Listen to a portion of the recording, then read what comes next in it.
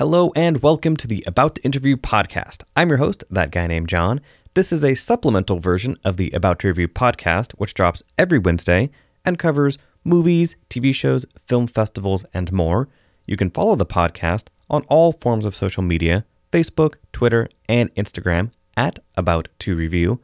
And make sure to subscribe on iTunes slash Apple Podcasts, Stitcher, TuneIn, Blubrry, and anywhere else you get your podcasts. This show focuses solely on the conversations that I have with authors, directors, actors, and creators, and is available on YouTube as well as subscribing to the podcast. Make sure to click the subscribe button below, give a thumbs up, and check out the full show notes with links to the guests at abouttoreview.com. Let's all go to the lobby. Let's all go to the lobby. Let's all go to the lobby to get ourselves a treat.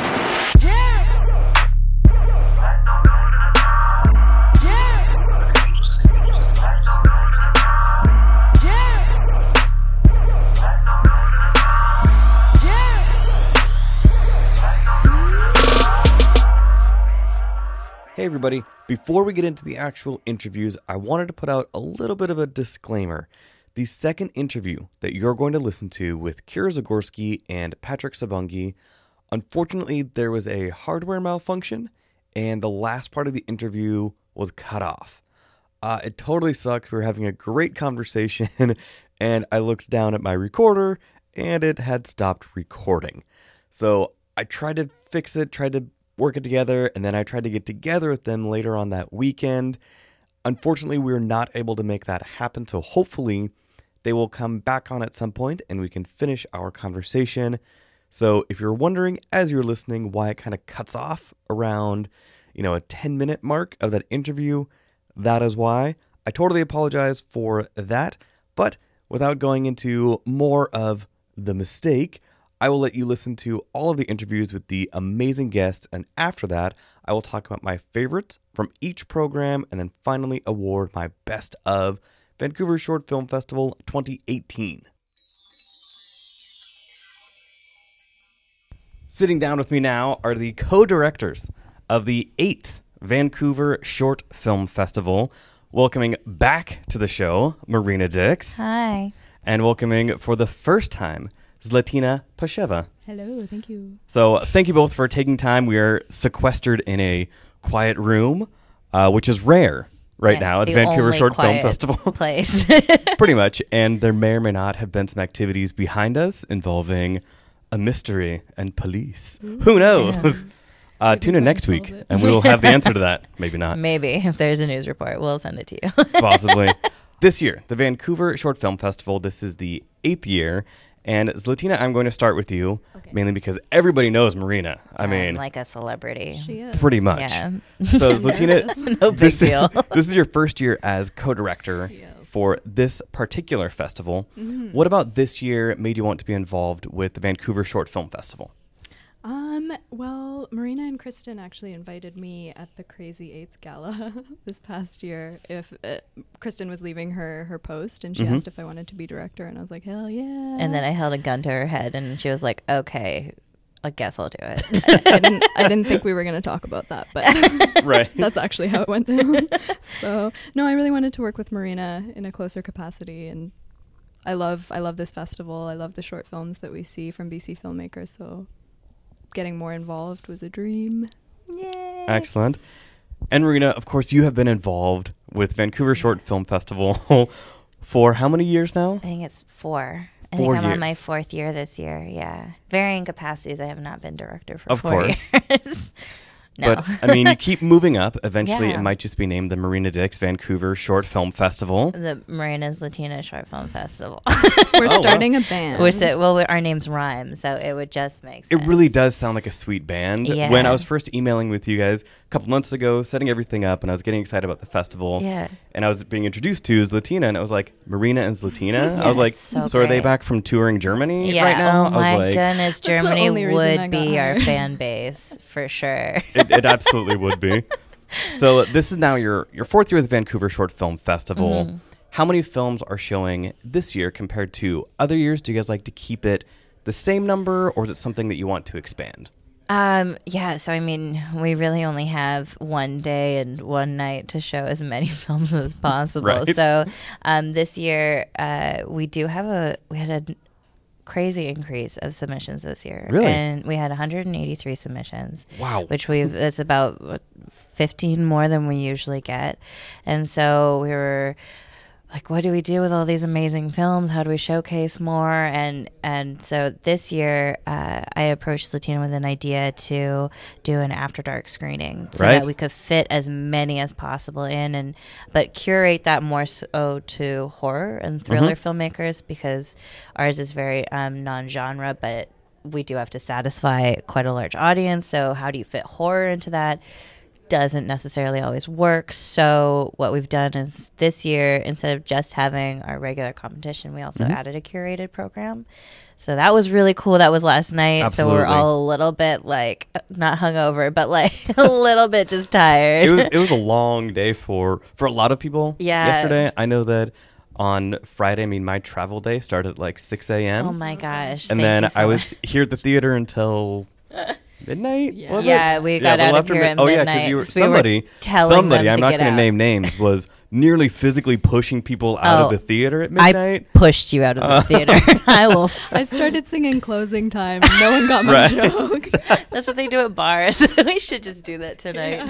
Can we? I think so. And when I was in theater, after we would wrap up our shows, one of Mm-hmm. the things we would say, because the same thing would happen. People would just want to hang out. Of course. Like, this is not Ferris Bueller's Day Off. There is no surprise ending. Go the F home. Yeah, but everybody, I knew everybody in the audience, so it wasn't like I was yelling at strangers. Exactly. okay. I So, was. as we are recording on Saturday, we just finished program two. Two. There are still three, two more, Two more. two more left tonight. What would you say is kind of the biggest takeaway from the 2018 Vancouver Short Film Fest? Marina, go ahead. Oh, me 1st Mm-hmm. Um, this year, uh, I really wanted to make sure that there was a real emphasis on filmmakers. Mm-hmm. Um, that was really important to me as as a filmmaker myself. When I go to film festivals, I've been to a couple um, that have just really made filmmakers such a central part of the festival, and it made it so um, important to me. And I made some really amazing connections all over the United States for festivals I've been to. And so, um, our mandate is to grow and foster the BC film community. And so, by doing so, we created our first ever filmmaker luncheon, which happened this morning, and we had 50 filmmakers out. Wow. We had a full breakfast. Um, it was sponsored, or not sponsored, but partnered. Um, we partnered with Story Hive Telus, and um, it was amazing. And everybody stuck around. They, every, all the filmmakers were talking with each other. People from different filmmaking circles were interacting, and it was just that's basically what this is for. Like a, a festival is just a massive networking event. It, Yep. it, it offers you the opportunity for people to see your work.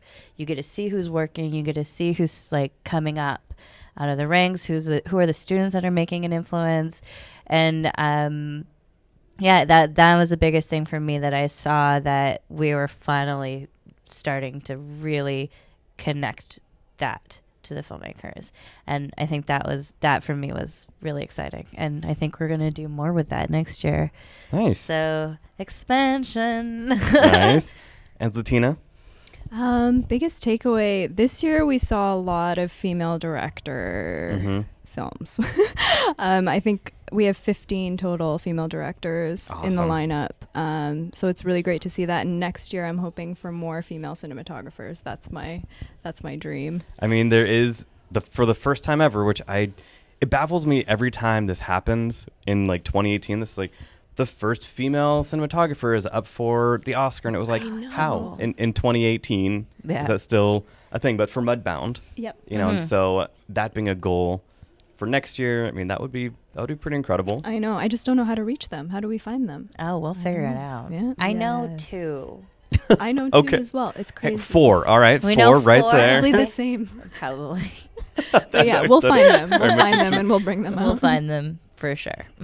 so every year when I come up here, I mean, like Marena's saying, this is just a big networking opportunity. But one of the things that I love seeing is all of the collaboration is I will meet somebody at a different Vancouver Film Festival or a different film festival, come here and recognize that everybody knows each other, you know their work, you know what they're doing, and that sense of community is always just inspiring. And so last night at the gala opening, and then I'm sure tonight after everything, before we get kicked out, uh, you know, we will have another chance for everybody just to really get together and meet each other. Uh, listening to students last night, um, the director from Violet and June, you know, listening to her after the screening, talk to people and be like, okay, I'm I'm graduating. I'm going to be done with school. What should my next steps be? Mm-hmm. And her getting legitimate advice from people in the industry was pretty amazing. Yeah, So- that's that's such a beautiful thing. Like the Vancouver film community is, is has such a support system built into it. Mm-hmm. Um, we have like uh, programs like Story Hive through Telus. We have Crazy Eights. We have Hot Shots. We have all of these little um, like MPPIA award through Whistler Film Festival. All of these little awards here and there that have um, really brought our community. I mean, we're not that big of a community, so it's it. We are growing and steadily increasing our numbers, but um, the independent community really bands together, and sure. and it's events like this where you really see it, and you can and you can sort of feel the sense of community. You can't. I can't walk down that hall. Neither of us can without being like stopped by five people Right. that we know and we've known for years, and it's just they're they're still working, they're still creating, and it's it's really inspiring to see that the city just doesn't stop against all adversity, and they all come out to support each other's work. So, yeah, it's been it's been another really good year for that. Fantastic. And then to wrap up, since I'm sure both of you guys are going to be start getting pulled in like five different directions Yeah, again, like it? you are all weekend. so uh, moving forward, so Mm-hmm. in 2019, Zlatina gave her proclamation of wanting to see more female cinematographers. What is Mm-hmm. something when I come back in 2019 that we'll talk about then? Something that you want to see at that 2019 festival.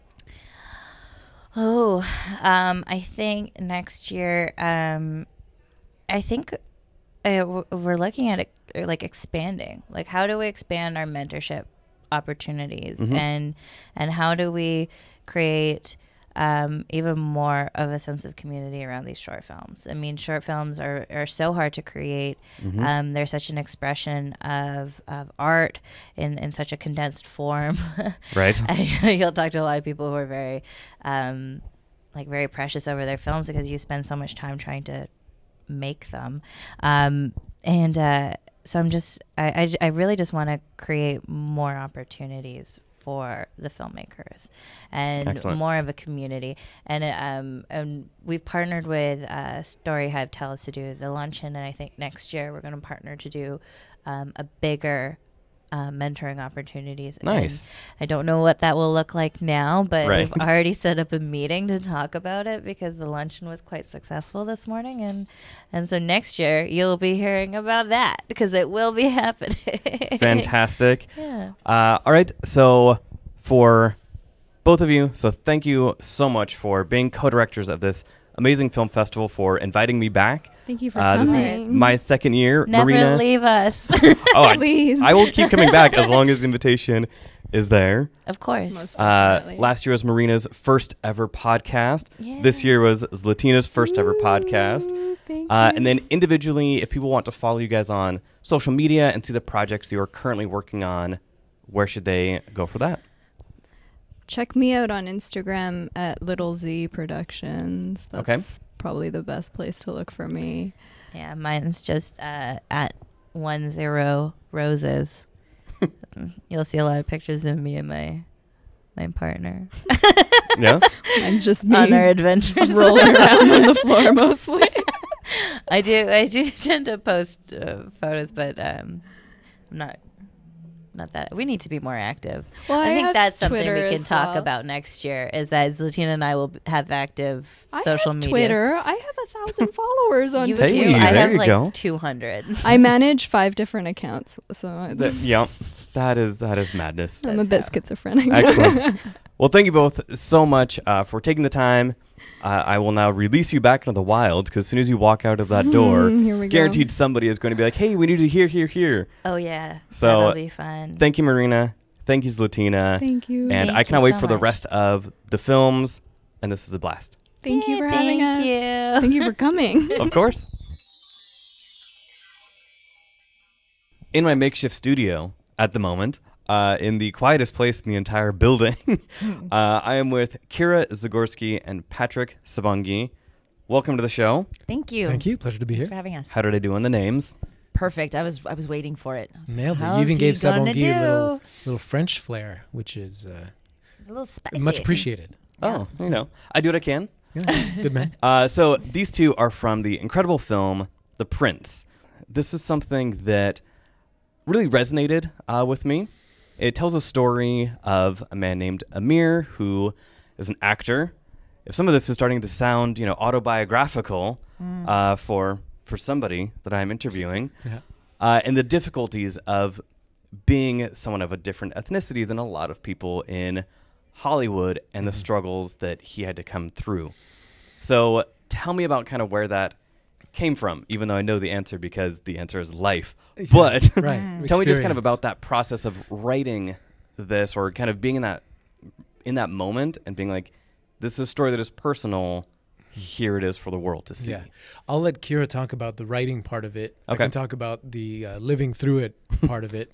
Uh, I'm a I'm an Egyptian uh, man uh, born in Canada, um, and when I entered the film and TV industry in particular, um, i- as a young actor, you kind of have to take the jobs that you can get, Right. You know, and, and I'm from a very physical background, and I kind of gravitated towards action stuff, uh, and uh, and um, right away it became evident to me that uh, actually once 9-11 happened Mm. there was going to be a huge market for villains in hollywood who looked like me uh, and the villains that people would like to shoot and blow up and Right. throw off of things and so i did that for years hmm uh, and then as i got more mature and more uh, woke can i say that i don't know Sure. if i'm too old to use woke but Uh, there's an age. Is there an uh, I'm age not age- age about limit? lit. I'm not. I But can't you use lit anymore. Maybe still woke. Um, as I start to become more aware of the world around me and how I contributed to the world around me, I uh, I started to realize that I had to take responsibility for the stereotype that was propagated about people who Right. look like me, because I work in in entertainment, and every time I take one of those roles, I'm supporting that stereotype. I'm propagating that stereotype. Mhm. And uh, so what the film does is that, and that's a very small part, you know, Right. of of the overall story. But Kyra, in her writing and her directing, uh, was able to encapsulate so much of what we experienced, and the the not just the discrimination, but the hard uh, personal choices I had to make as an artist. Absolutely. Um, uh, on top of you know everything else that's crammed into the film is what is the artist's responsibility in face of discrimination and social injustice hmm and how much of a say do we really have? You know, if I got to put food on the table, uh, Right. uh, and I'm these are the roles I'm offered. It's great to be all noble and say, "Oh, I don't do that," but then Mhm. what? You know, I, I, this is my my career. Yeah. Um, Okay. So living through that has been tricky, and making this film and having these conversations has been very therapeutic for me because I can. Uh, um, I can have these conversations, and it's not just a whirlwind inside my head of guilt and Mhm. responsibility. Fantastic. Kyra. Uh, well, in in putting this story together, I think part of it was that I mean we we've been together for a very long time. We were engaged before the events of 9/11. hmm So we've been on this whole journey of how the world changed and it all happened and it affected our relationship. It affected immigration. You know, I'm American, he's Canadian. J- Just it it, it, it was so much a part of our lives Right. and has been and just the way people would behave around him, the way I would step in, the way you witness, the way you see things. And when I'm looking at the talent that he is as an actor and where he comes from and the way he he's from here and this whole idea of go back to where you came from, those kinds of things. Oh yeah. Um, he's got a master's degree. He's a highly trained actor. He can do so many things. And then, but this is the only thing that he even gets to be approached for or even gets to get his foot in the door for. And it's, well, why not the lead though? How come? Wh- Why, why can't it be you? And so being, having experiences, real life experiences, like the the incident on public transit, those types of things, to just set up the world and a story for the audiences to see, get a glimpse into the life of what it must be like for him. Um, but then I'm a witness to his life as well. So when he has these hard decisions when he's coming home and his career has grown and he's having a hard time on set because nobody gets it and I'm trying to bring humanity to this character, he talks about this with me and we work through it together. Mm-hmm. And and it always comes down to you got to represent your culture you know you got to you got to stand up for yourself and you need to this is a, a moment for you. Yes that's the showrunner of this really big show or that's a really you know intimidating director but you are the only one that can speak on this topic truly and mm-hmm. so this is an opportunity for them to learn something. And i've witnessed that so many times. And and sometimes big moments where you know we have to put food on the table. And there was one show and i remember we were in brooklyn while patrick was shooting homeland and there's this audition that comes through and they keep kind of bugging him about they're really mm-hmm. looking at you to read for this thing. And it's just I mean, I think it said in all caps, um, "Angry brown men come and enter the room." This kind of stuff, and it's going to be a huge show. And it was one of those things where he's thinking, "It's a series regular. Mm-hmm. It's it's a SAG deal. It's U.S. money. I could probably get a lot. like every- I've I've everything never made about money it. like that. Like I hadn't ever made money like that. Yeah. Yeah. And it was this thing of we're looking at it, we're trying to find is there a silver lining in this script? Right. Is there because we know you're going to step in and do something with it. You're going to bring that at the end of the day, do actors have power to some extent? Mm-hmm. But really this is what they want. They want this villain. They want the Right. tw- twisty mustache thing and I was there with him when we made this decision of you're not reading for that. Don't worry about it. Something else will come along. So, um th- that's basically where it came down to. Just the little things. He comes home and oh yeah, you know, here I am playing this part. This is what they do to people like me. They they put dirt on your face because that that must be we- we're just dirty all the time. People Right. like me or you know oh you're from here. That's such a surprise or just Yeah. just the little details about if your beard is scarier. So as I was putting this together and trying to write the story of a little girl who's like I'm gonna stick up for my uncle and show you that he's uh, he's just like you and me and he's a prince. So you need to stand down. You know. Yeah. Um, and doing it through love because she's just such a big bright light in the movie. Um, there's a lot of there's a lot going on there, but just to show the subtle racism that happens, I think in a lot of people who deal with those things might be able to relate to the film. Yeah. Uh, I am one of them. Mm. I mean, just being somebody who is multi ethnic, Mm-hmm. who gets confused for everything else. I like when I watched this the first time last year on my laptop. I I cannot really accurately describe how uncomfortable I started getting while watching this because of reality of situations that I have been in that were incredibly similar. And so just like so for me watching this, I got it. Like I mean, it was mm. it is reality. And the other thing that struck me both times I have now watched it, the complacency mm. of society. Yeah. So when this is happening on the bus, this is an altercation happening that is an injustice, and the way that you guys chose to show other people on the bus who then look away, who Yeah. physically just like, uh, nope, I- I'm not involved with that. That complacency is something that, as multi-ethnic people, we deal with all the time. Yeah. And so it was it was very raw. It was very emotional. when I was sitting here this time, I knew it was going to happen. I knew how things were going to turn out, but it still had that effect on me, and so that was really powerful. So thank you for showing uh, that message because I can tell people the stories that have Yeah. happened throughout my life, and people will have that same reaction. Oh, that doesn't really happen, Yeah. or I don't think it happened like that. Uh, yeah, it did, and It it, did. does. And so seeing it, really, on screen, it really sticks with you. Yeah. The the lack of engagement when something is going on, and Mm-hmm. to look for is there anyone who's going to say anything? Is there anyone else out there? Th- those are the things that really have that it's it really struck me. And when it happened to us, and when it's happened on a number of occasions in different types of situations, Mm-hmm. when people just decide that this has nothing to do with me, I Yeah. can just walk away and I'm just going to go home and I'm not going to get involved. And um, look where we are today now, politically, and you know, and Yeah. and, and I think uh, in large part the film uh, is for those people on the bus. You know, if our audience is going to Yeah. put themselves into the movie, they're not all going to identify with the mayor. of course. Most people are not going to identify with the racist guy on the on the bus. Mm-hmm. Um, and maybe subconsciously they'll identify and be like, "Oh, uh, I'm the bystander on the bus, Yeah. and Mhm. what am I gonna do?" And it's not to blame them. I think it's it's a very hard position to be in, but um, But at least to raise people the question for them and say, to be Yeah. aware, Mhm. this stuff is happening. Yeah.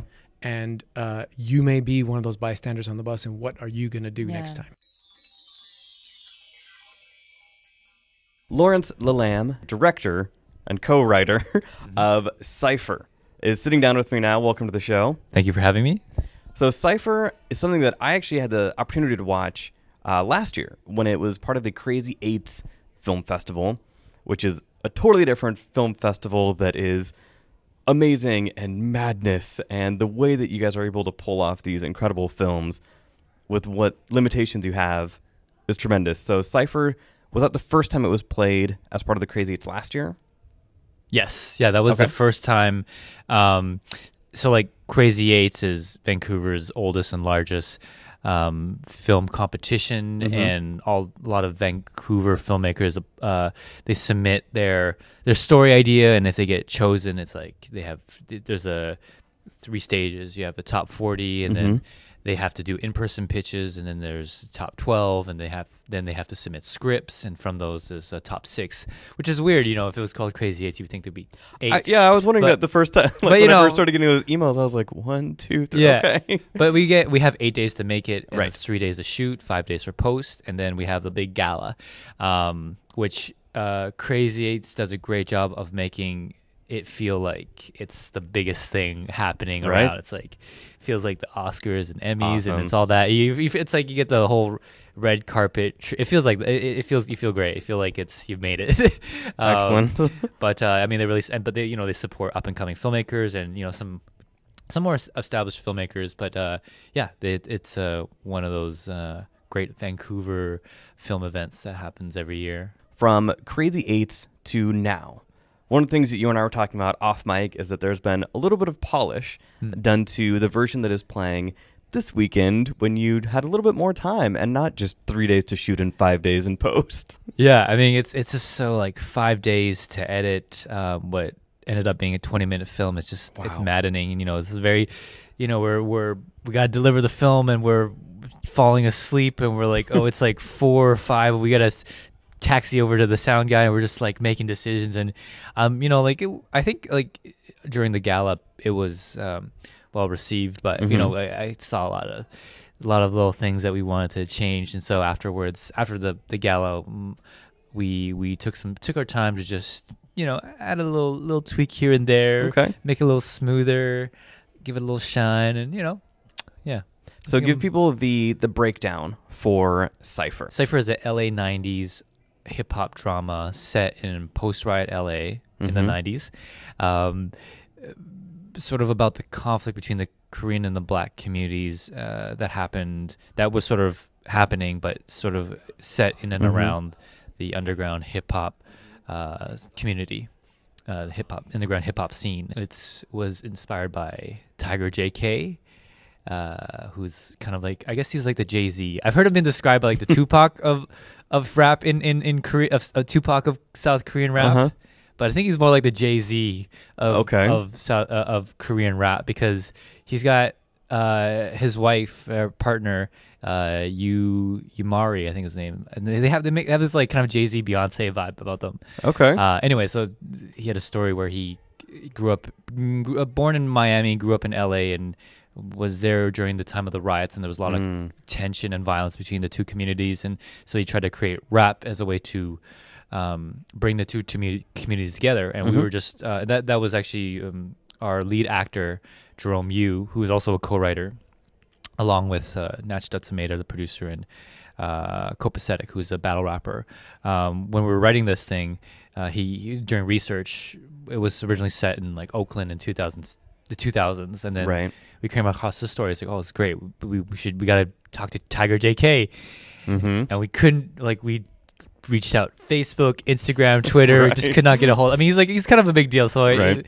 it, it, would be hard. But um, we haven't had luck, so we kind of made a story inspired by that Right. that character. Uh, but actually, at this film festival, at the Vancouver, at the 2018 uh, Vancouver Short Film Fest, we met uh, with the makers of um, The Greatest Trick. I was chatting with him, and he knows Tiger J.K. Really? yeah, and it was like you gotta you gotta hook us, you gotta you gotta Right. get us in connection. I gotta you gotta send him this short. Uh, uh, so hopefully, yeah, it'd be great. I'd love to. I'd love to just hear his story and yeah, That and make sure that he gets a copy. Make sure that he can get a screener and check it out. Exactly. Yeah, yeah. So, what in particular with this story, with the confluence of the Korean culture, the black culture in Oakland, you know, in the 90s, what about that really spoke to you? when we initially got together, uh, it was Jerome, Natch, and myself.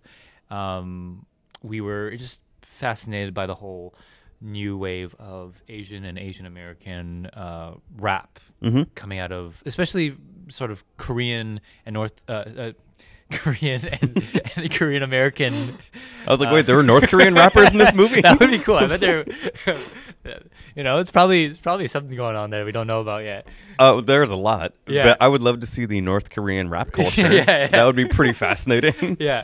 Um, but yeah, uh, last year it was like sort of Keith Ape and Dumbfoundead. All these sort of uh, Korean and, and uh, Korean American rappers were sort of coming on scene and being um, welcomed in, in North America. And yeah, we just wanted to explore the sort of Asian American experience of, of hip hop, and we, we found it just really interesting because in that is it's like the confluence of, of two different cultures, um, and uh, but it's so uh, embedded in our our youth uh, growing up with that music. Um, And yeah, we, so we just trying to find that that the story with Tiger JK in, in in LA in the '90s was like the perfect vehicle for it. Now, in the film, there are a few performances. You know, there are these ciphers, these rap battles. So when that was happening, when those two actors are getting together, any cipher I've ever been to, you know, back in the day, things can get pretty heated. Uh, so even though this was a film and you have a whole set there, what was that energy like when you were filming those scenes? Oh man, um, it's pretty it's pretty incredible, and and uh, a lot of credit can be given to Jerome Yu and Alex Barima, who are the two leads.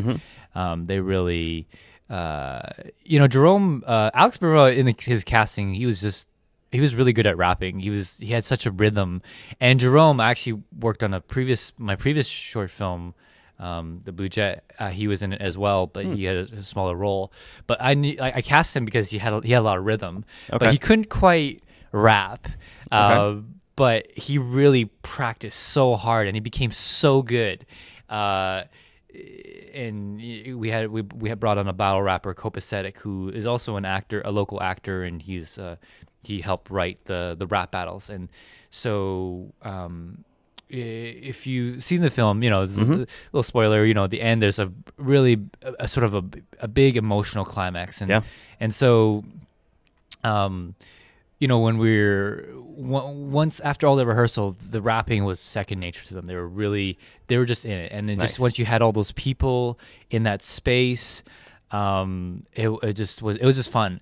Uh, and what was interesting is when we did uh, a blo- uh, was it um, just like a rehearsal. Yeah, we just did a rehearsal of kind of going into the emotional scene, and it was like they were so ready to just explode. They were just just like Awesome. stocked full of just emotion. And when we did the rehearsal, they like they started to, they cried and they're like and they're like, why didn't you film that? Right. Um, Always keep filming. Yeah, but I mean, like it was the performances were great, uh, but it was like it was it was uh, it's cra- I mean, also because we're on a time crunch, we don't have that much time. Yeah. But um, yeah, they really gave a great performance, and it was really like it was probably it was yeah the most fun I've ever had on set, and um, because it was like a hip hop film, we tried to Mm-hmm. keep. You know, we just tried to try to keep it that energy aligned, and Absolutely. so you know sometimes we'd have you know like the our DJ Myth uh the character DJ Myth OG the the narrator he would Mhm. The thing there was a thing where he says his name like DJ Myth OG and it would be like Oh, OG and so we did do that on set you know and it was just because I, I think uh, it's important to the energy on set is important and Mm-hmm. um you know trying to make that work environment you know uh as well as professional and safe but also just like really great and, and energizing and just to you know i think that's that's important um Fantastic. So, what is the plan for the film now that it played last year's part of Crazy Crazy Eights? Now it's a little bit more polished, part of the Vancouver Short Film Festival. What is next? Yeah, I mean, we're hoping for it to continue its fa- festival circuit uh, run, and hopefully it'll get into Busan or some someplace in Korea. Okay. Yeah. Um, and uh, the the the hope, and now this is now becoming a closer to reality, is to get it to J- Tiger JK because Yeah. I because I- I think we're myself and some of the other writers we're, we're interested in exploring his story Mm-hmm. and maybe exploring um, you know the feature version and and um, and, and so we that's why we really want to talk to Tiger, Tiger JK and hear about his his uh, experience in in trying to create uh, rap to bring the two communities together. What's that like? You know, he made an album around that time called "Enter the Tiger," and you, when you hear it, it's it's it's great. It's it's it sounds like uh, a bunch of uh, uh, Korean and black kids getting high and rapping. It it sounds like a blast. But you know, I think there's a I think there's a really great story there. That's that's that's just it's just waiting to be uncovered. So awesome. um, I hope we can get Tiger JK to see the film and connect and um, hear his hear. I think it would make a great Vice story too. It's just like a, yeah. yeah, For sure. Uh, I, yeah, I think it would be great to get to really explore a story and maybe make a feature, uh, or at least have you know uh, just have a great story. You know, hear a great story, have a great story, maybe tell it to some people. You know, That sounds good. And then where can people follow both Cypher on social media and you so that they can see kind of all of these mechanisms that are working and seeing that seeing what you're doing? Yeah, uh, I'm at uh, Lawrence Lam uh, on Instagram, and you can add me on Facebook, Lawrence Lam, and Mhm. Cypher uh, Cypher the f- at Cypher the Film Okay. on Instagram or Cypher the Movies, one of those. Uh, I will put all of the links uh, in the show notes Yeah. below. So excellent. yeah, and um, you know we like to post up hip hop news and any sort of undercover underground stuff happening, and um, yeah, Excellent. Well, thank you, Lawrence, for for taking the time uh, to be here. The film definitely is a good story that needs to be addressed, needs to be talked about. I mean, again, you know, it is 2018, and we are still dealing with so many issues that this film brings up, and these were things that happened, you know, almost 20 years ago. So, thank you for making this uh, film, and I look forward to seeing kind of where it goes from here. I definitely think that yeah, the device thing would make a fascinating story, and I hope that everything works out with Tiger JK. DJ Myth OG. OG. Mayumi Yoshida, the director, actor, writer, everything with the amazing film Akashi. Welcome to the show. Thank you. Thank you for having me. Did I miss any titles there? As an independent filmmaker, you always have to wear like 15 hats. Exactly. Yeah. So that's enough. Okay. Producer, whatever, whatever. Yeah, all the things, but with lots of people's help. So Of course. yeah. So your film Akashi tells this beautiful and heartbreaking love story Mm-hmm. that is based on some real events, correct? Mhm. Yes. So can you tell a little bit about kind of the reality of the situation and then how Mm-hmm. you use that motivation in this film? the actual conversation between me and my grandmother happened like six years ago. Okay. Um, uh, I moved here from Tokyo seven years ago. okay. So the character's journey is sort of similar to my own journey. Mhm. And um, I came here sp- specifically to pursue acting. So, um, yeah, and we had the exact same conversation. She was like, Oh, I'm so proud of you. You're, you know, overseas, you're a woman. Like back Mm-hmm. Yeah. in the days, I couldn't do that.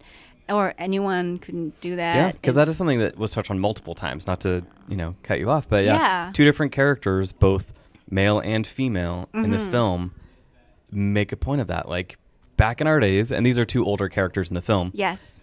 are saying like back in our day, like a woman traveling by herself. Not only that, but just traveling to another country. Yeah, to pursue her, their dream. Right.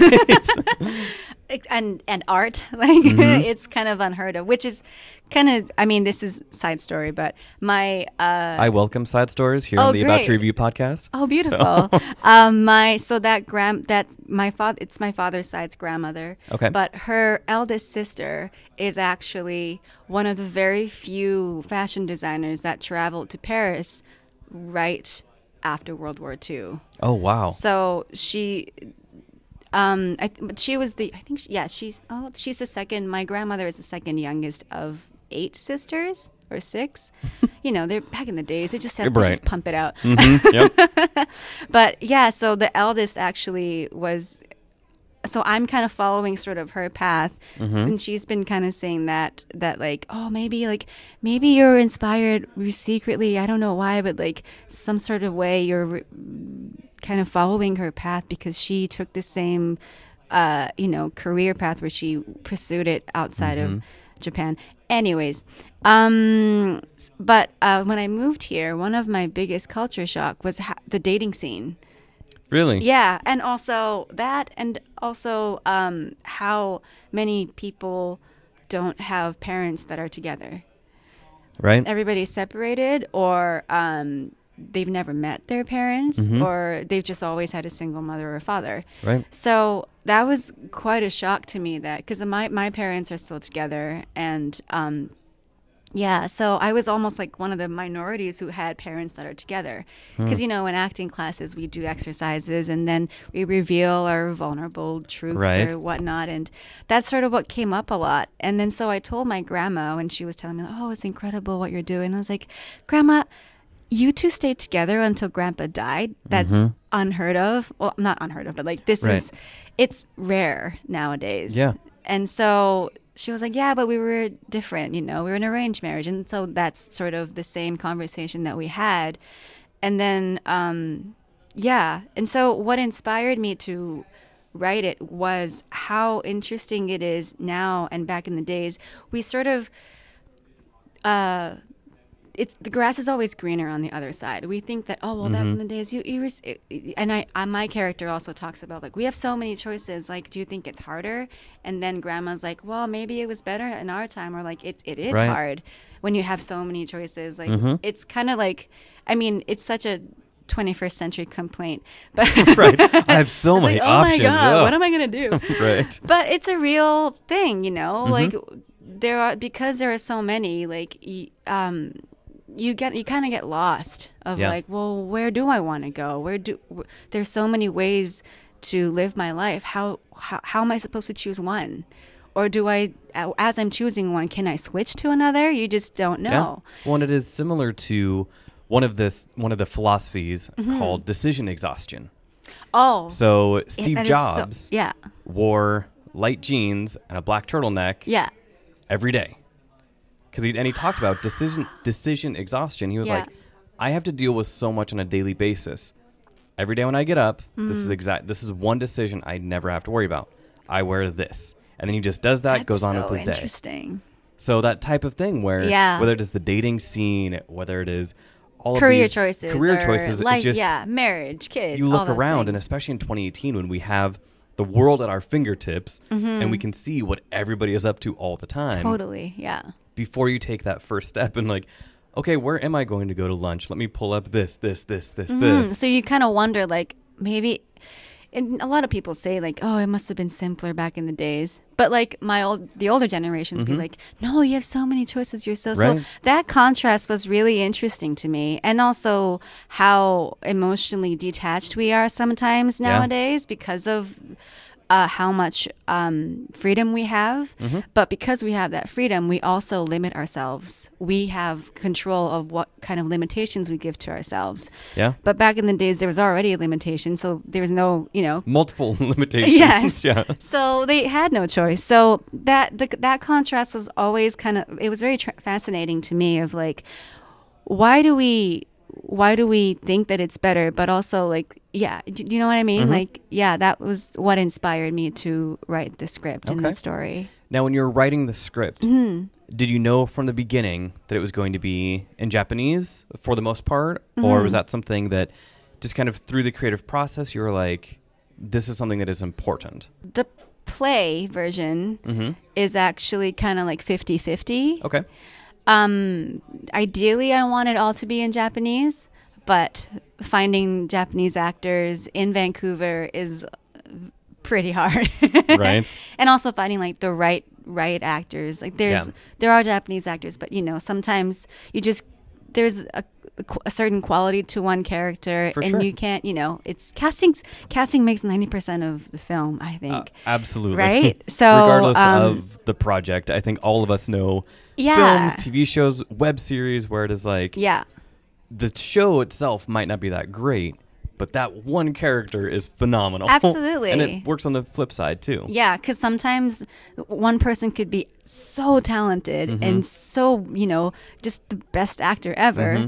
but they're just not quite right. Yeah. And anyway, so um, the play version was 50-50, but ideally I did want it to be in Japanese. And I was I thought, well, it's 10 minutes, so like I'm going to try and do it in Japanese as possible. And I was Mm-hmm. very lucky to find the cast that we got and they're phenomenal. So Right. Yeah. Okay. Now, as far as the characters, Mm-hmm. Oh, actually. yes, Uh, Linda, who played the lover at the very end, um, she's Japanese heritage, Mm-hmm. but she can't speak Japanese. So we Mm. initially had a little line, Mm-hmm. but I cut it out. But it actually worked out without dialogue. yeah, I totally agree. It yeah. made it made as much impact without words Mm-hmm. than I feel like you know, even if because it sounds like she had one line, you know, in the original script. So take that out. I think that silence really Yeah. benefited the film, especially in the moments that she was in it. It resonated. It made sense Mm-hmm. because it was at a somber moment of that reflection. Of Yeah. you recognize, you now know exactly who this woman is and what she meant to both people. Yeah. you know, and that that's a great example of casting that I mean not, not to toot my own horn, but like she's she was just so um like the like the facial lines of the, uh, because of her experience in life. Yeah. It just shows how much she's gone through. Absolutely. And you can't you can't really you can't fake that. You can't do that in acting. The the the beautiful lines that she has in her face is just Mm-hmm. that already tells what the character Yeah. has gone through or like who she could be. And that's all up to the audience. But um and I think because we didn't have dialogue, uh we were able to let the audience decide who she could be. Yeah. That was, I mean, it was a really amazing choice. Thank you. Uh, now, in this 10 minute, you know, film, Mm-hmm. if I were to kind of break this down to the three act structure, what I noticed in the first two acts, when you were going from flashback Mm-hmm. to modern times, there was only music Mm-hmm. in the flashbacks and not kind of in the modern pieces Mm-hmm. until, you know, got towards the end of the film when it was more incorporated into the general storyline. Yeah. Music is a huge thing whenever I m- most yeah, all of my favorite films have extraordinary score. And we uh Huao his he's our um composer and he is incredible. We, he actually found us on Facebook because he worked with someone. He's he's not from here, Okay. so uh, we all our communication was on Skype, and he's from different countries. So, Okay. um, but he found us, and he's he showed interest. And I even writing the script, the original play as well. I always had one music that I listened to, Okay. and that was sort of like the driving force of what this script, the film, the energy is kind of like it's all in this one song. So I sent him that song to him, and then he was like, "Oh, I get it. I I, I know exactly what you want." And then from there, he was able to draw the inspiration and create the score for this. Yeah. So every most of the scenes that we talked about, like this scene, we so um there's that main score, but Mm-hmm. this one's more bare and just minimal Right. and then we get as as the the emotion of the film gets heavier and heavier we'll add more so Gotcha. at the beginning it's more lighter Mm-hmm.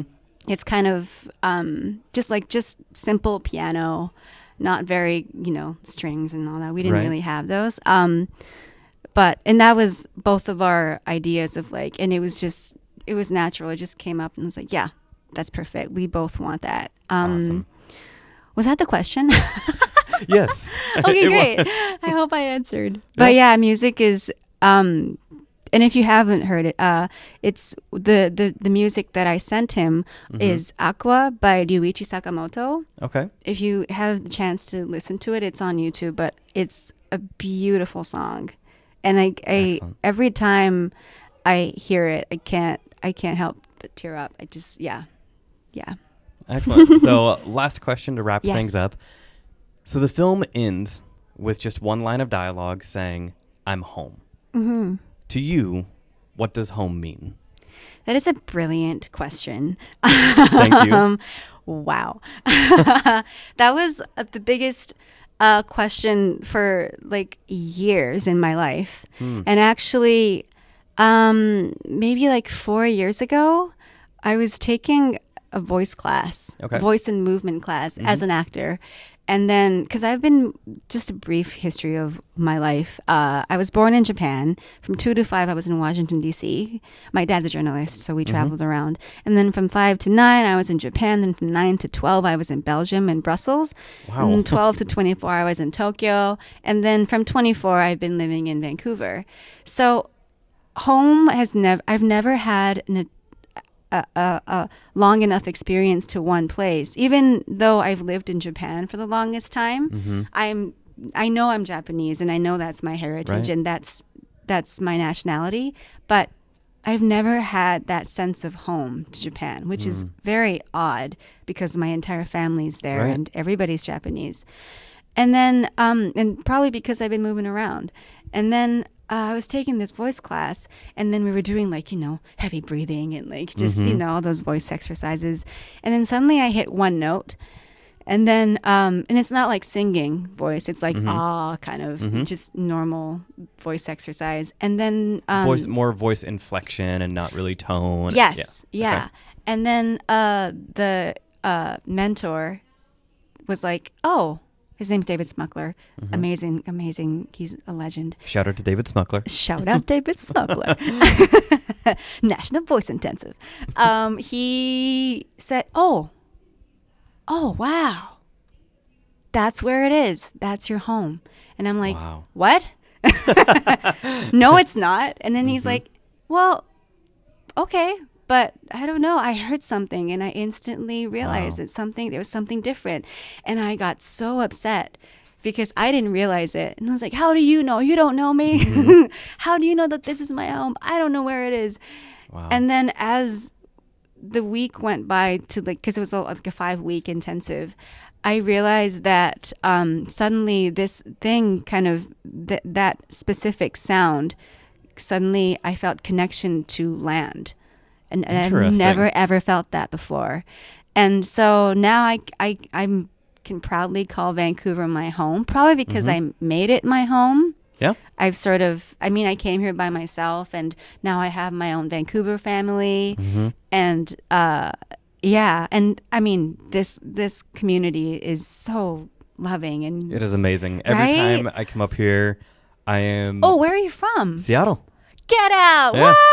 So yeah, every- Seattle's also great. it is, and we have an amazing film community down there. Right. We're And I- screening next month in Seattle. Oh, really? Yeah. Seattle Perhaps Asian we will Film do uh, part two of of this interview. Unfortunately, uh, Oh, I'm come doing. on. I'm so sorry. We have a different screening on in Vancouver Mm-hmm. for a different film, so I can't be there. So you're choosing Vancouver over Seattle? Rude. Okay, I see how it is. Just because you just went on this beautiful diatribe about how oh Vancouver is home, god! Oh my god! but Seattle is great too. Uh, but yes, so Van- yeah. Vancouver Is- now feels like that that home that you have been. It sounds like searching for and not really knowing what it was for a long time. yeah. So Excellent. That's home, but Okay. also you find home in like people. Of course. Yeah. Now with the other than film screening in Seattle Yes. coming up. Yes. So what are what are the next plans for Akashi? Akashi was part of NBC Universal Short Film Festival Okay. this year, and uh, um, I was very fortunate to win Outstanding Writer in that festival. Congratulations. Thank you, which has opened up like uh, very interesting doors. Um, they hooked me up with a manager and um, uh, an agent there, so I got signed uh, with Gersh Talent Agency, which is great. And so we are talking about uh, the feature version of Akashi. Um, we have I have the play, so turning Mm-hmm. that into the feature is kind of like what I'm working on right Wow. now. Okay. Yeah, and then in the feature version, or hopefully, what I would like to do is to, um, at least in the play version, we see more of more, a longer conversation, like another 20 minutes of the grandma and grandchild talking about grandpa and all the other things. And then uh, we get to see um, Kana's modern day, um, uh, act- her, her love life, actually. How, and it's actually after grandma passing away. So what happens Gotcha. after Okay. she passed away? And we also see grandpa's uh, love affair. What happened? Interesting. What actually happened there, and did how did it uh, either end or Mm-hmm. you know how how did it blossom? What how did they make that decision of separating? Um, so yeah, we get to see that uh, gener- different di- different generation, different time. But I guess again, hopefully, we get to accomplish that universal story still. Fantastic. Mm-hmm. And then where can people follow the project on social media? Where can they follow you and the things that you are up to? Um, I I'm on social media. All of it is I am M Y Y O U M E. I'm Mayumi. Okay. I will make sure it is in the show notes. I'm Mayumi. Yeah. Uh, Instagram, Twitter, Facebook. I have my own Facebook page, and then Akashi has all that too: Twitter, Excellent. Facebook, Instagram. Um, Akashi's screening in Vancouver again in March 11th, and then uh, we still have festivals coming. We just yeah, hopefully we get to screen in Seattle. I hope so. I hope so. I hope so. I was so bummed when I heard the date, and I was like, no. Okay. Excellent. Well, Yeah. thank you so much. Uh, the film is is beautiful. it is you. just very sentimental, very loving, and I could tell that it comes from a place of just true passion and dedication. Thank so, you. thank you, Mayumi Yoshida, and all of the links will be in the notes below. Great. Thanks for listening. The one, the only, David C. Jones. That's me. Uh, welcome to the show. You are the MC extraordinaire Oh gosh. of of this event that I have been covering for two years now. When did you first get involved with the Vancouver Short Film Fest? I think when I heard you were coming to cover it, I begged to MC it. I mean, Uh, uh, right. flattery will Yeah. get you everywhere on this Yay. podcast. Yeah. So um, yeah, I MC a lot of stuff in town, and often what happens is people see me at an event, and then they go, "Hey, we want some of that over here." Some of And that. some of that, whatever that is. Mhm. Um, and so uh, yeah, I, I do believe I've only done two years at this festival. Okay. Uh, I could be wrong. I often see that actually when people are booking me and they go, "Could you do the thing you did last year?" And I went, "What did I do? Sure. I do a lot of different Right. things, right? And I, um, so yeah, I uh, I think two years. Okay. That was a long answer. Totally fine. yeah. Uh, the, the About to Review podcast is known for long answers, Okay. so totally fine with that. Welcome. So with this, what is it about the Vancouver Short Film Festival that want you know that made you want to come back and not just me? Well, uh, well, one of the things that I love about uh, short films, for, like, because myself, I've made short films.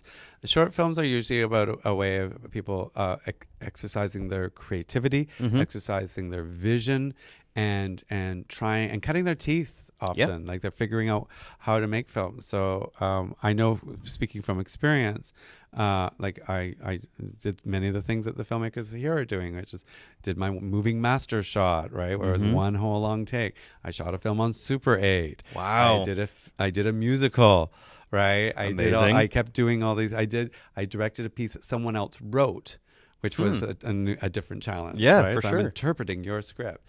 Um, so seeing the visionaries here, and one of the things that blows me away is they're way better than I ever was. all right, they they that some of the films have been outstanding, and- Tremendous. and, and yeah, and, and so many different ways of telling a story. So that's what makes it very exciting Okay. to visit a, a, a short series. Mhm. I, I at all the festivals I go to the shorts. I, I seek them out because it's a roller coaster. Mm-hmm. ha ha! Oh, oh, oh, oh. Mm. All within ten minutes. Yeah, exactly. So- yeah, totally. Yeah. So, as a filmmaker Mm. yourself, Mm. what inspires you when it comes to film? I usually think of what will be interesting as a story for an audience, Okay. or sometimes I give myself an artistic challenge. Mm-hmm. right? So you actually, I will say, a lot of times it started as an artistic challenge first. Like Yeah. when I entered and got accepted into the Super 8 festival, it doesn't exist anymore. Uh, Okay. But uh, uh, and it's not Super 8 because it's really old. I was it was say, a, mm. it was a 2013 This, Super came, 8 this festival. came after the reel to reel festival that you were in. yeah, Uh, exactly. I wasn't doing when Super 8 was around. Right. Uh, and uh, so I went to that and I pitched, and then I thought of a story that I wanted to tell in that using Super 8. So sometimes it's the the the challenge first.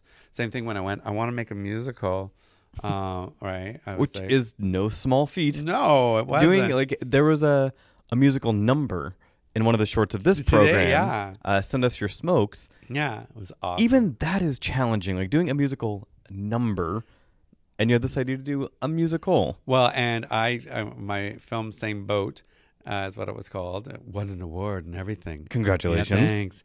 Um, it uh, uh, it was also about two um, musical lesbians who keep cutting each other off. So they're Hmm. uh, having a fight. And so they start to sing a song, and the other one cuts them off. So we actually had to write 14 songs Oh my gosh. that you only get to hear about six to 10 seconds of each song. okay. they sing one song all the way through. Mhm. That's when, well, I don't want to spoil it. Okay.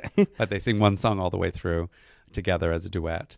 Um, and it, it, the audience finally goes, "Oh, now we can hear a whole song, right?" Gotcha. Yeah. Is that available for people to view online? Only the trailer is still available at this point. So Gotcha. I'm I'm trying to make some money off it. Uh, Yeah, uh, yeah. that's the challenge of short. Wait, films. filmmakers want to make money? They What- want whoa, to try. I know. I know. In in Canada, uh, uh, of course, we all try to get it to the mother corp, right? To CBC. Mhm. So I mean, I'm trying to get it in through the door there. Okay. Please give me money and show it. Right. Would you show this on your TV show, please? me make good film. me make good film. It won award. It won There award. you go. Please. Uh, and then once if CBC goes no, then I'll put it online. But right now you can watch the trailer. Okay. If you type in "same boat official trailer," Gotcha. right? and probably have to put my name, David C. Jones, David C. Jones, right? of course. And then you can find the trailer, and the trailer will give you a a, a soupçon, a, taste, a, uh, an appetizer of Hmm. The full film. Yeah. Very nice, very nice. So, with your MC duties that you do all Yeah. around Yeah. town, uh, you made a mention earlier tonight, actually, of previously doing street theater. I did. I've done so many things. I did too. Uh, when I was younger, I did street theater, uh, uh, mostly in Vancouver and up in Whistler, Mm-hmm. Okay. uh, developing shows. I don't know how to juggle or unicycle, so we did improv on the street. Nice. Uh, not a lot of people do that. I know No. why. Mhm. It's hard. It's exhausting. Uh, I'm an improviser also by trade and uh, uh, by trade. That's a weird thing to say. I made money at it. Right, I made a lot of money at it. You could say Uh, by profession. by uh, profession. you know. Okay. And uh, uh, yeah, so I did street theater uh, for a while. I, li- I like acting. I like performing. And I like audiences. Uh, so that's why Mm-hmm. I, I could not tell. uh, when you get up there, you were just very deadpan. yeah, You know. yeah. Uh, uh, uh, I like to make sure they're having a good time. They Mm-hmm. know what's going on. They know what's happening.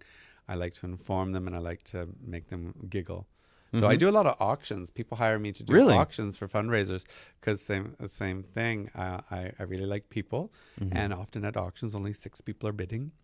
Right. So I try to keep them all laughing, Mm-hmm. so that the ones who aren't bidding at least are having a good time. Okay. Right. So it was a pseudo comedy show slash auction. Exactly. So I'm not one of the ones 45, 50, 55, 60, Right. 65, 75. I don't do that stuff. So what would you say has been the main path of yours, whether, you know, from the street theater to filmmaking, what would you say is the main thing that Uh, My, has driven my you? main path as an artist has been haphazard at best. Okay. Uh, I just jump around to things that interest me. So, Mhm. like, uh, uh, someone said, "Do you have any goals?" And I went, "Just to keep having fun." hey, uh, yeah, that works. uh, like I, I directed the Canadian premiere of Heathers the musical, right? So that was a big epic thing. Uh, then uh, I've acted in shows. I did my first Shakespeare show. Hmm. Uh, I was in Twelfth Night earlier. Okay. Uh, uh, I've just been approached to direct a Neil LaBute play. Um, um, and then uh, I just finished filming a short where I had to play a guy who put a gun in his mouth and was trying to kill himself. Ugh, okay. Right. So if you want to see something eclectic, I'll just I'll just make your listeners keep looking stuff up on the Right. tube of you. Mhm. Uh, you can type in David C. Jones demo reel. Nice. and you got 2014 and 2016, I think. And Okay. I like to act, and like so fun is basically that you know being fun, challenging yourself. Hmm. Yeah, I just keep growing. I, I'm a Mhm. teacher as well, and I always say to them, as an artist, you always have to be filling your artist toolbox, which is your brain and your creativity. So Mhm. you just need to go. I I see lots of stuff. I'm always going out to shows, to movies, to theater, and uh, um, and uh, movies occasionally. Don't watch a lot of TV. Actually, I like to get out. Okay. Right. And and then when I'm not doing that, I'm creating. I, I, I even create cabaret characters.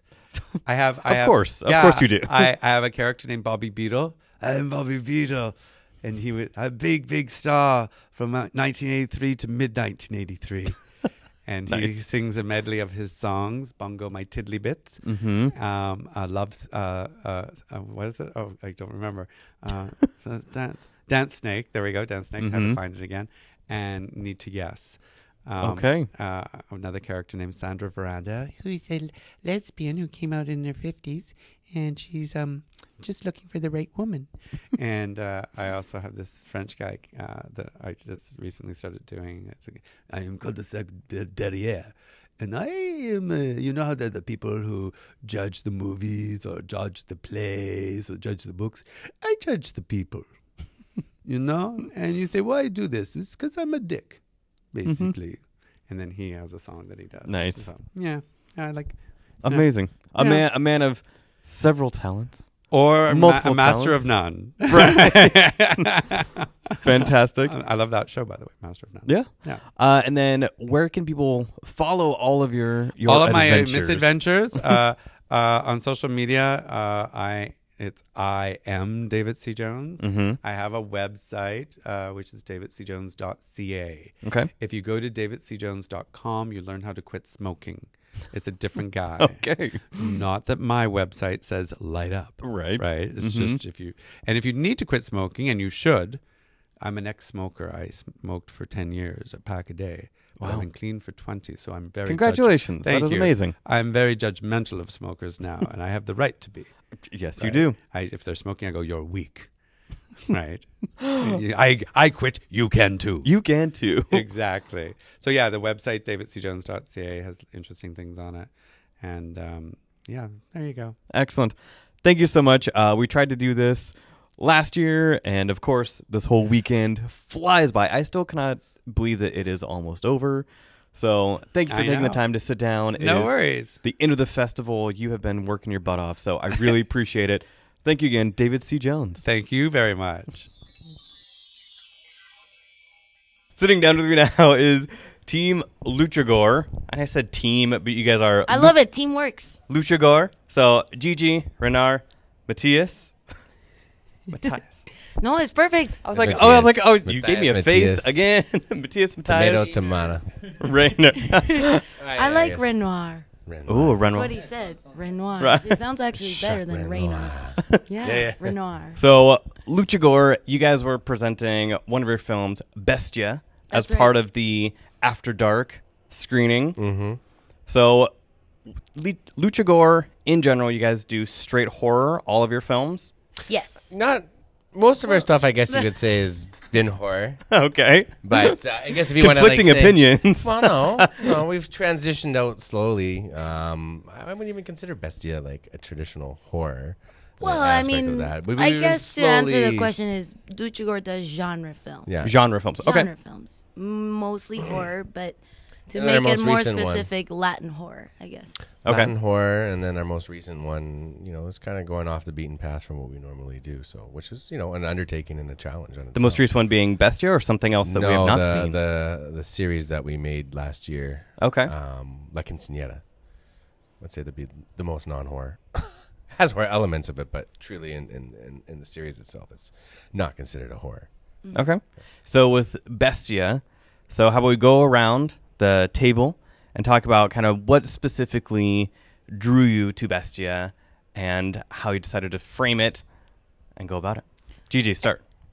Um, well, for me, it started because Raynor showed me a picture of this location. Mm-hmm. Um, and it, just the picture in itself of the location was so magical and just the character on its own Mhm. that it was just such an amazing opportunity for the team uh, after shooting La Quinceañera, the big Warner Brothers Right. show, just to get back to our core roots, you know, and and just shoot something with the with a skeleton crew in this incredible location. Mhm. Um, and uh, we wanted to do something different, not only just filming outside, but something a little more psychological. And and I really wanted to experiment with the imagination of audiences, Right. and I think people's interpretation can be a lot a lot scarier than what is presented on screen. For so sure. that's what I really wanted to do with Bestia. Give everybody an ending that could make everyone think something totally different from the other person, and just something a little more internal uh, with the character, the atmosphere, the location. Um, so for me, what drew me right away was just the picture of the location. Fantastic. Yeah, I think I, adding on top of what Gigi said, it pretty much was the location kind of played its own character, Right. along with Mathias in, in, in the short film. And I think, like again, when I knew about this location from years back, um, you know, this is going a long time ago, but I used to go up there with my friends, and I just always thought it was a beautiful place, and Mhm. it was just like something should be told here. And like again, we finished, we wrapped up the series, and you know, looking for you know something different and, and something that we could just do at our own pace. And Right. Obviously, it was around the time of that huge winter storm we had, and you know that faced its own kind of repercussions. But we managed to do it, and I think that was a challenge on itself. Yeah, Along with the dangerous film- location to get to, but worth filming, it. Uh, you know, with Mathias in the cold, and you know, he really wanted to, uh, you know, suffer through it and be that character, which he did. Um, I, I think it was just, you know, it was great. It was great to be able to do that, and um, it just really pulled itself together. And I think the forest itself has its own eeriness, Mhm. uh, along with you know the, the way Mathias is acting and the cinematography and all that. We obviously wanted to try to play in with natural light, uh, something Luke always wanted to do. He's not here right now, um, but um, I think that was something that we always we wanted to push ourselves basically and try Very cool. something different. And I think we accomplished that. Sounds And- good. And push ourselves to the next level. And then uh, Mathias, the star of, a Well, I don't know about star, but- Yeah. How? Why do you not think you are the only one in the movie? Yeah, come It's on, man. If, if any if anyone else gets top billing on IMDb, we have a Oh, different yeah. set of problems. Could have been the forest. the the Yeah, forest, yeah. right? the tree. So Mathias, with this, when did you come into the filmmaking process? Was it when you first saw those oh. imagery? I sent you the No, script. yeah, Gigi said like, "Oh, I wrote the script. I want you to read it, and like, let me know what you think about it." Mm-hmm. So I read it. I'm like, "Oh, this is pretty good." So I like this for me, right? And she's like, "No, no, no. I picture like this white dude." I'm like, "Whoa, whoa, whoa, whoa, whoa. First of all, you're Latino. You gotta like support the Latinos here. Mm-hmm. So this guy must be like Latino. Mhm. Like, Pretty "No, much no, is what he doesn't said. Fit. Right. Doesn't fit with the script. I'm like, I'm gonna make it fit. Don't worry about it. And they didn't want me like, cause I've never done something like that, and that's that Okay. was my goal, like to challenge myself to Mhm. do something different. Cause I always play the bad guy. So it's like I'm like I want to do something different, For sure. which is totally different of what I've ever done. And after like begging for a few weeks, Okay, five days. right. so for one week of begging. they gave me the part, and I was very happy. And just being like in that forest and stuff was like very, very, very like um, I didn't have much to like act. I just felt li- like the character. Oh, wow. It was Yeah. very, very interesting. I, I, I liked it a lot. Okay. Yeah, your transformation. I think Mathias's transformation really impressed everyone on the team on the day. Mhm. Like the fake beard, the, the hair, like everything. He doesn't even look at all. Like a lot of people watch Bestia and they're like, "That's Mathias? Right. What?" um, and it was super cool to hear Mathias be not. I wouldn't say begging like he was saying, but Mhm. like be so into his script that he's like, "I want to do this." Uh, okay, maybe that- a that sounds like Uh, begging. yeah, but, but drunk, but he was okay. and he was drunk too. But he was like, I want to do this. This is something I've always wanted to challenge myself with. So it was so cool to hear that, and he- like Raynor and I were just really pumped to see something totally different. I think he totally pulled it off, and yeah, we're excited for whatever's next. Very cool. One of the things that I thought was you know really special about the film is the sound design. Especially because the cinematography and the directing was so just up close and personal, but the sound design, the way that it kind of wrapped around you as you're watching it, pulled you into Mathias's performance. So the sound design, who can I give credit to for that? You can uh, give credit to. Uh, we've been working with these guys for a few a few years now, and they're so amazing. Uh, they Lex do our Ortega, uh, Luis Flores, and I think they just recently brought on another guy named Gus, Cue- Gus. Cuevas. Okay. Um, but From Mexico City. from Mexico City. So Nice. they've they've been working with us for a few years, and these guys just they just know horror. Um, They just they just know how to really pull the essence of what you're trying to show on, uh, you know, visually, and, and enhance that even more. And it's just something that you know we just kind of give to them and give them a little bit of notes on kind of where we're feeling, and, and Gigi will kind of discuss certain beats and all that stuff, and, and they just take that and then they enhance it. And half the time they only had like one change or two changes on them. It was kind of Hmm. like where the the sound of the Yeah. this this this mysterious scr- howl was coming from. But Right. um, they just they just have this other element, like this other mind that understands the genre, and um, yeah, working with their their team's called LSD Audio, okay. Mm-hmm. and just everything I've seen them do on features and shorts, it's it changes everything. At the moment that Lex and Luis send the their first uh, attempt, it's always like, whoa, yeah. And then oh my god, A- as the Like, as the creator and producer, you have to be like, all right, we cannot say we cannot tell them it is perfect the first time. so let's give them So- one note. right. Yeah, we had to give them like But, you know, um, oh, let's just tone that one sound But down. but Bestia Right. was a really was a really interesting change because I think it was the closest that ever Lex and Luis worked with our composer Chase. Oh, who's okay. done all our work. the, the music and pretty- and this time even Chase was like, I want to work really close with Lex and Luis because I don't really want to create a score. I want to create an atmosphere. And that's Wow. exactly what he did. And if you listen to Bestia, it's got these distorted Mm-hmm. violins and strange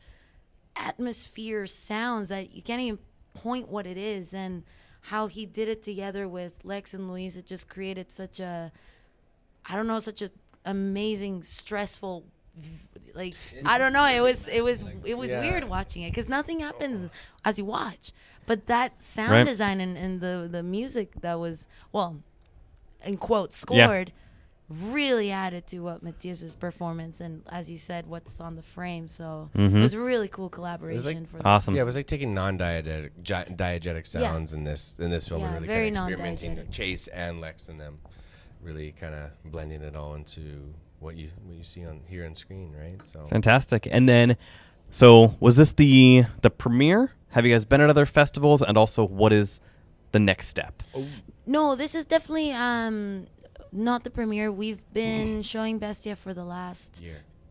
a little bit less than a year. Okay. Um, but it's it's done amazing. It's played in in it premiered in Sitges. It played in Toronto. Won best Played short. Atlanta. Oh, wow. There, it's Yeah. won just recently in New York. Won best editing.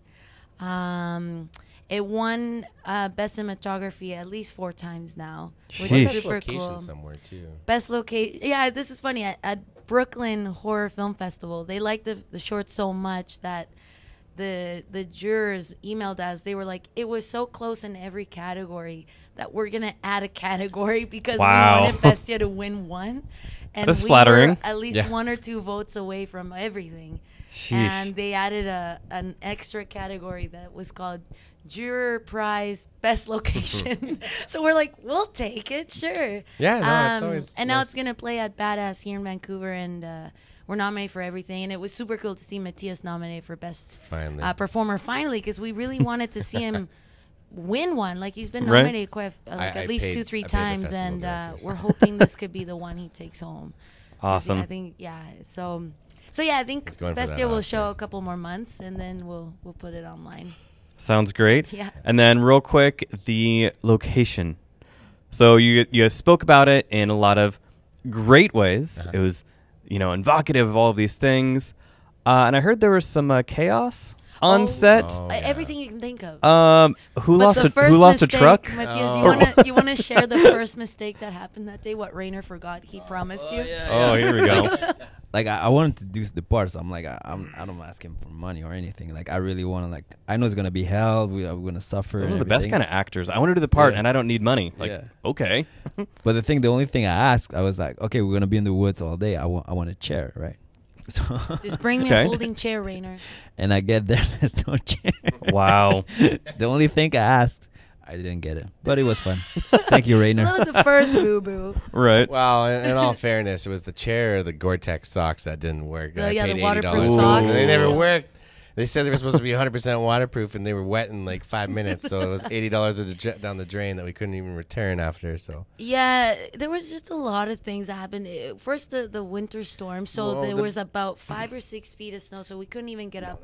Get yeah, yeah. On the first week, he told me it was five feet, no, three feet, whatever. Lots Okay. of snow. Lots of we had to cancel it twice because even made it out. because it was just impossible to get up there. Right. So we canceled it. And then when we came back, uh, the the winter here was so strange. It all melted away that it, it the, the What, reason rained? why the and it rained. Mhm. The reason why the short looked the way it did, like with all the tree trunks sticking out of the water, Yeah. it was all the melted snow and the rain.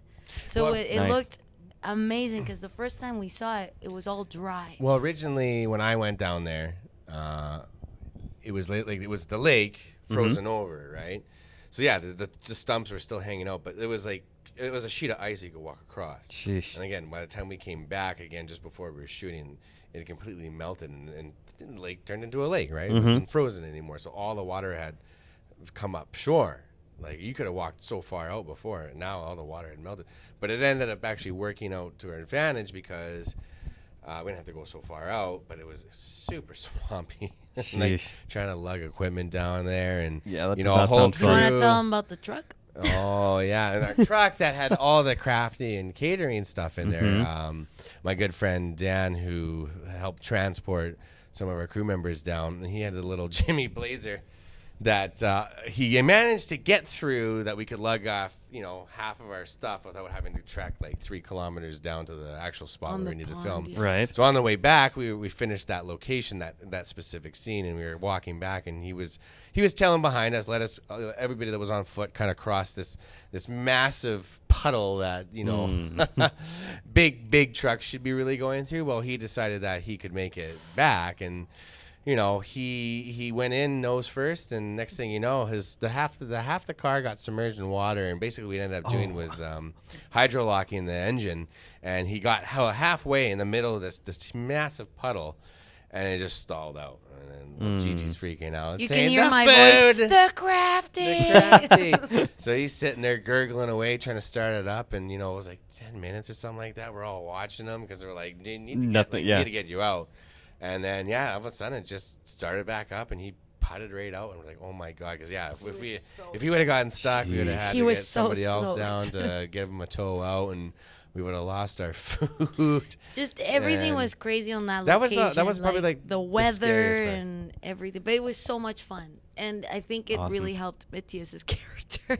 Oh, yeah, because there was no there was no It worked. There was no um again, there was no electricity. We had no no generators. It was mm-hmm. all, you know, stands and Just flags, and flags the and- camera and what we had to to go with that. And yeah, we were pretty much all fighting the light, you know. It was Wow. February, mid like late February we were shooting, right? So we were fighting the Started the, 4 a.m. call, finished at yeah, 5 we finished p.m. at 5. So we did a 12-hour day, right? It took actually we spent more time driving Right. Almost exactly the same amount of time driving as we did shooting if you want to kind of like compare the the amount of time so it wasn't actually that much shooting we had to work really fast and work with the light right so it was our it was our little mini revenant for the day Right. So, And then uh, to wrap everything up, because Luchagore focuses on genre films and a lot of horror, what is the scariest movie you have seen? Start with Gigi. Oh, for me, it was definitely The Exorcist. When it came back out in theaters, mm -hmm. I think it was n- 1999 or Right. something like that. Uh, that was the first scary movie I begged my mom to take me. I was like, I'm going to be a two digit number next month. I'm going to be 10 years old. Like, take me. I can do it. Oh, boy. And I was like, okay, do you want to get scared? Sure. And so she took me and my, um, and my cousin. And uh, yeah, yeah, I couldn't sleep for a Mm-hmm. very long time. I got a real taste of what traumatized really is with Wow. The Exorcist. Yeah. Okay. i'd have to say Bambi. Yeah, Bambi. Bambi, yeah. it's like why? No, no. I, um, I my dad showed me Aliens, the second one, the James Cameron one, when I was about like five. Ooh, like four or sheesh. five. So yeah, it scared the living shit out of me. Yeah. Uh, and then another one, I, I just I was older, but I still haven't finished watching it. Is Event Horizon? I don't know why. Ugh. Some of that Dude, movie. that's a scary That, that, that movie is messed up. It's messed up. I, I don't know. I Yeah. just I, I haven't had the urge to finish it off, and I don't Yeah. know why. But it's just there's something this rawness. This you know, it's a sci-fi film, but there's just I don't know. Okay. It's really gripping, and I don't. I just I got to I got to finish it off. You Nice. know, I got to I got to right. be a bitch anymore. For me, it was uh, the movie. I don't know if you remember Fire in the Sky. Fire is Oh my absolutely the alien abduction. Oh, yeah, yeah. I remember my parents were watching it, and me and my little brother were like, "Oh, we want to watch it." Like, no, no, no. And we just could hear, hear the screaming. And Yeah. then one day they went to work, right? And then we watched it together, and like we're like, "Oh my god, I'm not sleeping again!" Right? It Right. was so scary, but that movie, Fire in the Sky. Remember? Awesome. I like that movie. I don't watch It's good. dude. Well, cool. Well, thank you guys Thank so you. much. Thank you. Uh, the film is Bestia, and I will put all the links to LuchaGore and Gigi and Martine and Raynor. Martin. Matias. Mike, what am I doing? Nah, that's his. That's his Hashtag new name. Matador. Martin. right. Uh, I will put all of the Martin. links in the show notes below. So Thank you. thank Yeah. you again. Thank, you so you. much. So, for this episode of About to Review covering the 2018 Vancouver Short Film Festival, I have been your host, that guy named John, and we will see you next time. Let's all go to the lobby. Let's all go to the lobby.